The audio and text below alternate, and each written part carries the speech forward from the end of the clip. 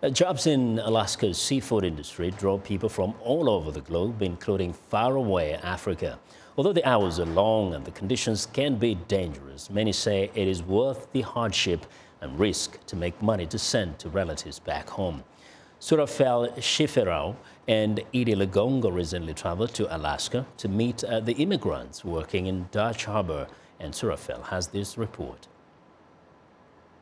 Dutch Harbor is America's largest and busiest fishing port. In 2015, fishermen from the port caught 357 million kilograms of fish and other seafood, valued at $218 million. The industry draws people from all walks of life, including Somalian refugee Abdulkani Hassan. Hassan first came to Dutch Harbor from Iowa in December 2016 and is now back for his second season, ready to brave the harsh conditions. Actually, when you knew, it is kind of, uh, you can face a lot of challenging, but when you became uh, work for one season, another season is going to be okay for you.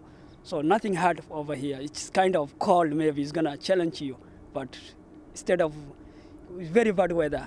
Dutch Harbor, situated in the Aleutian Islands at the southern tip of Alaska, is not as frigid as other parts of the state, but it's very cold and has 221 days of rain or snow. Workers say the weather, along with the area's isolation and rural nature, causes great loneliness and boredom. The only thing they can do is work, seven days a week for up to 12 hours per shift, for a pay that starts at minimum wage of $9.75 per hour. Wasihun Kasahun is an Ethiopian who once worked in Dutch Harbor. After one season, he could no longer handle it mentally.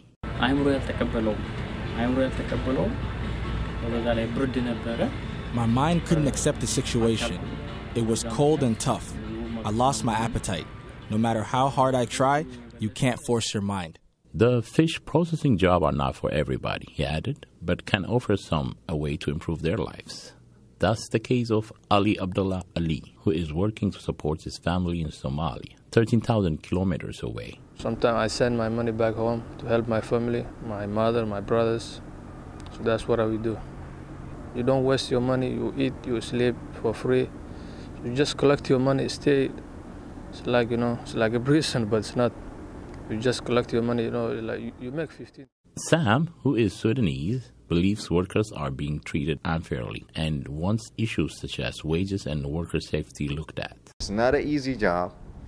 Sometimes you can overwork, overdo, and if you're new and you don't used to it, it I mean, it leads you crazy or you can get injured or something like that. Still, workers seem willing to take the risk in hopes of building a better life. And for everyone who lives, another foreign worker, many of them Africans, will come to take his place. Well, joining me now to tell us more about working in America's largest and northernmost state is Surafel uh, Shiferaw. Uh, Surafel, welcome to Africa 54. Thank you. Thank you. now, you. by their own confession, this place is extremely cold. It Very can be so lonely. What did they tell you drove them there in the first place? Yeah, the, you mean the workers go there for uh, to make more money. Mm -hmm. so that, that's the that's the main thing they go there. I mean, like they just had to go to Alaska. Yeah, it's, it's, it's a lot of money, but it, yeah. the fact on the ground is not is not is not uh, what you think. Yeah. There are two ways: some make money, some don't. But uh, the catch is like they work longer hours, uh, so and they have nothing to spend. This guy described that as almost like being in prison. Yeah. Why? Why does he say that? You can't go anywhere. You work like 12 to 16 hours, then you sleep, and then you go back to work so you have one uh, dormitory, and the, the factory, uh, the processing factory is next door. So you just.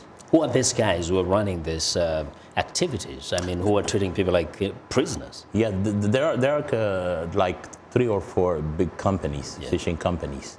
So they have like uh, big big fishing processors there. And, it's, and huge. They, they wouldn't let us in. It, yeah. I don't I don't know. Like we have emailed them. We just called them, and I even they wouldn't went, let you go. Eh? Yeah, there. Okay. But, uh, what else did you observe around that area that uh, uh, the Africans who may have gotten up there are uh, doing? I, I observed only two things. One is there is a big labor exploitation. Mm. I think there is a lot. They just want don't want us don't want the media to come through and see what's going on.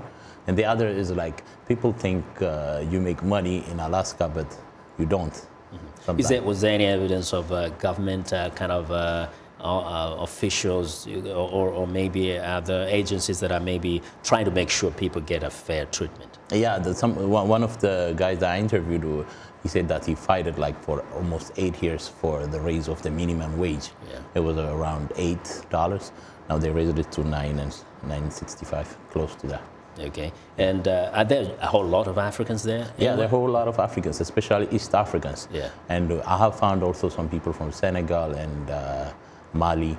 So most most of the people are from Sudan, from Eastern Africa, Ethiopia. Uh, we have Somalia, a lot of Somali people, even girls working there. Wow.